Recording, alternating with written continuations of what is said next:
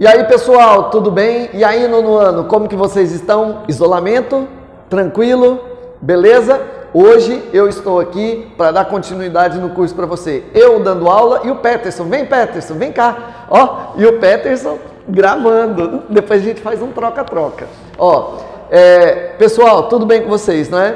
Veja bem, é, vamos continuar o assunto, não é? Das aulas de sala, beleza? Eu me lembro que eu tinha dado para vocês África aspectos naturais. Eu até cobrei em prova, na última prova antes do coronavírus, né? Agora a gente vai estar esperando depois, mas hoje eu vou falar de aspectos humanos da África. Muito facinho, gente. Olha só. Toda vez que a gente estuda a população da África, você tem que lembrar de mim, pobre, né? Ó, você tem que lembrar primeiro, pobre, depois você tem que lembrar é, os aspectos culturais, você saber mais ou menos qual é o biotipo das pessoas na África e beleza, e tirar conclusões a partir dessas informações. É isso que geralmente cai nas provas que vocês vão enfrentar futuramente nos vestibulares. Então vamos lá. Olha só, o que, que a gente pode falar da África? A África tem mais ou menos a população da China, não é? Então a população, a população né, absoluta ou total da é, África é de aproximadamente 1,2 bilhão de pessoas, certinho? Então essa é a população da África. Olha só como que é massa você pegar essa população e dar uma analisada nela.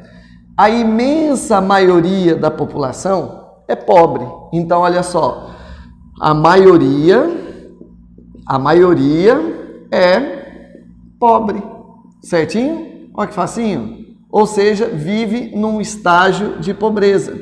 Pessoal, precisa estudar isso para a prova? Não, né? Por quê? Porque pobre aqui no Brasil é a mesma coisa que na África, é a mesma coisa que na Europa, com um pouquinho só de diferença.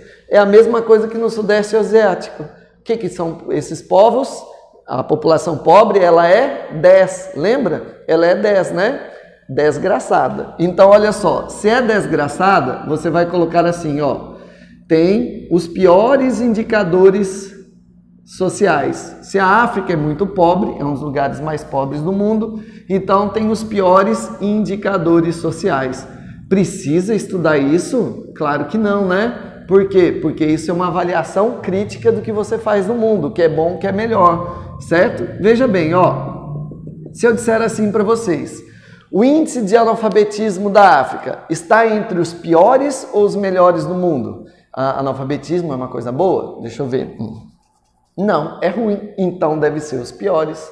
Precisa agarrar nos números? Claro que não.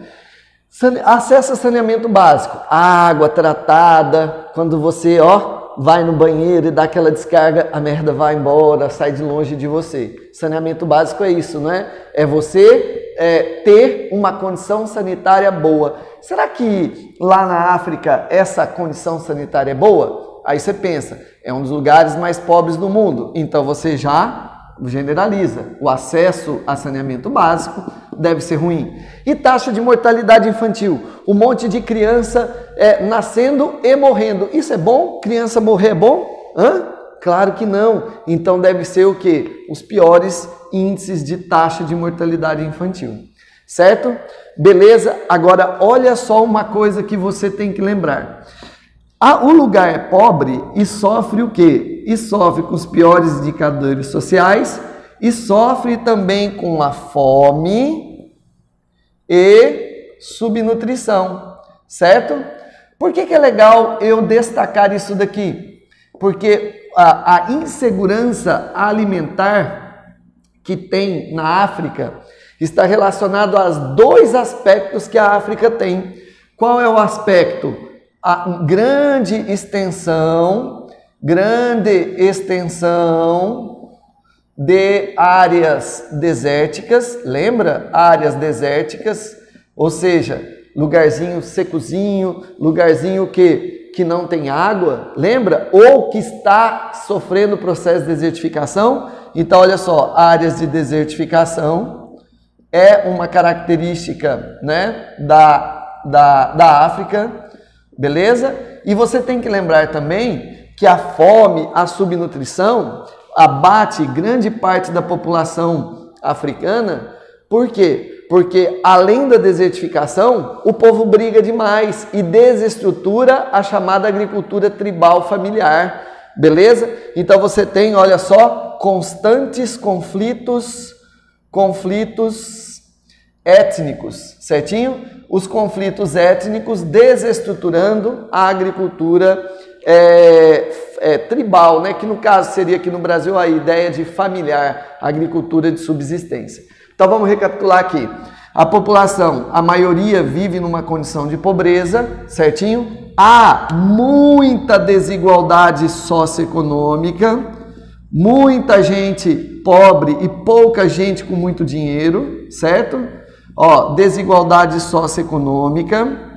É, essa população muito pobre, região muito pobre, ela acaba vivendo com os piores indicadores sociais que existem no planeta. Por exemplo, ó, se você estiver analisando o Brasil, aí o sujeito, eu já ouvi várias vezes alguém falando assim, olha, olha, a Baixada Maranhense tem indicadores africanos não é? é nos seus, na, na, no quadro da população. Que, que isso quer dizer? Isso não é coisa boa.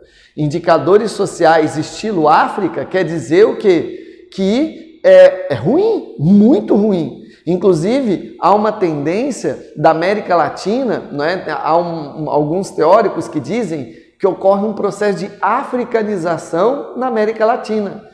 Africanização? Eita porra, o que, que será que é isso? Não tem nada a ver com pessoas vindo para cá. É que na globalização, a competição, a desigualdade aumentando, a América do Sul vai o quê? Regredindo no seu aspecto social, lógico, em alguns países, gerando indicadores parecidos com a África. Então é como se fosse um processo de africanização da América Latina ou de alguns lugares da América Latina, como por exemplo o Haiti. Beleza? Então vamos lá. Então você tem esses aspectos aqui que são importantes. O que mais que a gente pode falar dessa população? Gente, muito simples. Olha só. Essa população a gente pode dividir em dois aspectos, certo?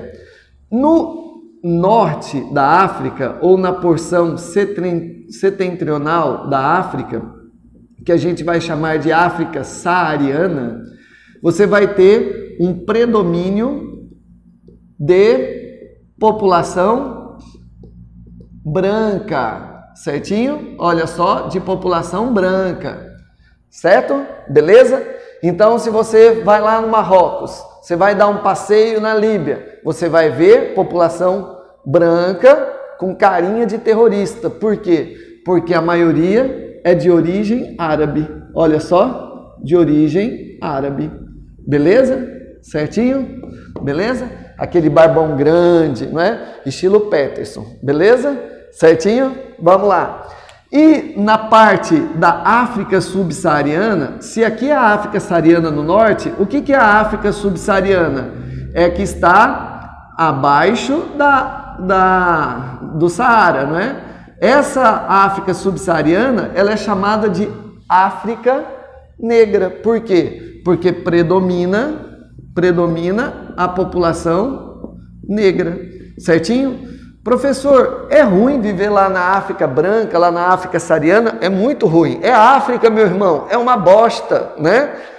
E quando você, e quando você desce ali para a África subsaariana, aí fica pior, né? Se você chega e fala lá para um sujeito que mora na Líbia, ou oh, você está na merda, ele fala, eu sei. Se você chega lá na Nigéria e fala assim, ei, você está na merda, ele te agradece. Por quê? Porque eles estão abaixo da merda, em pobreza, certo? Então, presta atenção. Se aqui é ruim, aqui é pior. Se aqui é uma bosta, aqui é mais que uma bosta. Certinho? Beleza? Lembre, bosta nos sentidos dos aspectos socioeconômicos né, em relação também ao problema da fome desta região. O que, que a gente poderia mais falar da população da África? Gente, muito fácil. Olha só, a população tem uma grande diversidade cultural, certo? Aqui a gente fala diversidade cultural, né? O Brasil tem uma grande diversidade cultural. Nós vamos substituir esse termo. Para a África, você vai dizer assim: tem uma grande diversidade, ó, diversidade étnica. É melhor assim na África, né? Étnica, tribal. Só que aí a gente vai tirar o tribal e vai colocar assim: religiosa. Certinho? Beleza? Olha só. E aí, diz aí para mim, professor, qual é o lance dessa característica da população?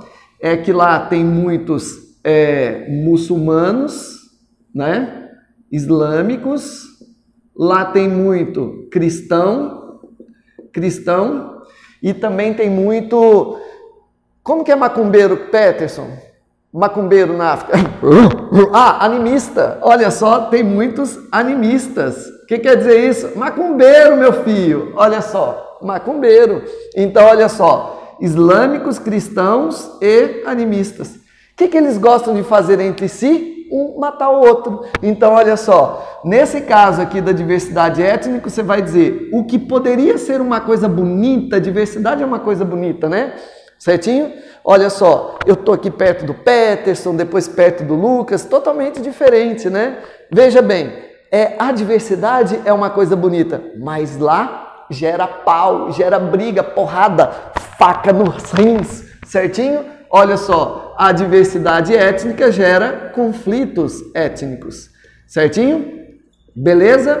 Olha que simples, gente. Olha que fácil. Essas são as características fundamentais da população da África.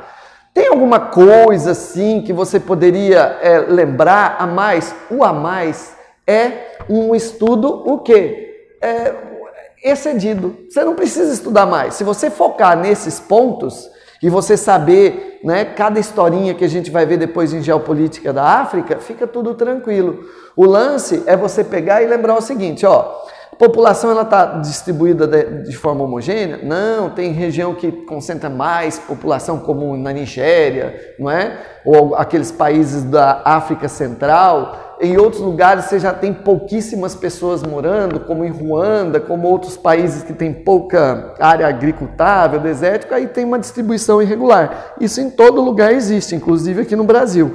Isso é uma regra geral. Agora, os aspectos característicos da população africana são esses que você tem que lembrar. Vamos recapitular para fechar a aula? População mais ou menos da quantidade da China, população muito pobre que sofre subnutrição. Lembre, isso daqui acaba gerando, a nutrição acaba sendo agravada, além da pobreza, pelos conflitos étnicos e a, a diversidade ambiental, né? Desigualdade socioeconômica muito forte. Depois você vai perceber que a diversidade étnica ela gera muitos conflitos, que vai gerar ondas de refugiados. Então a população é, é, africana, que a gente vai ver depois né, em geopolítica, sofre muito com refúgio, com refugiamento, ou seja, fugindo de um lugar para o outro. Né? Podemos dividir a África, populacionalmente falando, em duas: a África branca e a África subsaariana que no caso seria a África negra, certinho? Beleza? Pessoas com pouca pigmentação e muita pigmentação. Beleza? Próxima aula a gente fala de economia e depois de geopolítica da África. Um abraço, faça as questões, faça todas as questões e seja um aluno responsável. Não engane sua mãe fingindo que está fazendo as questões. Faça mesmo. Beleza? Tchau!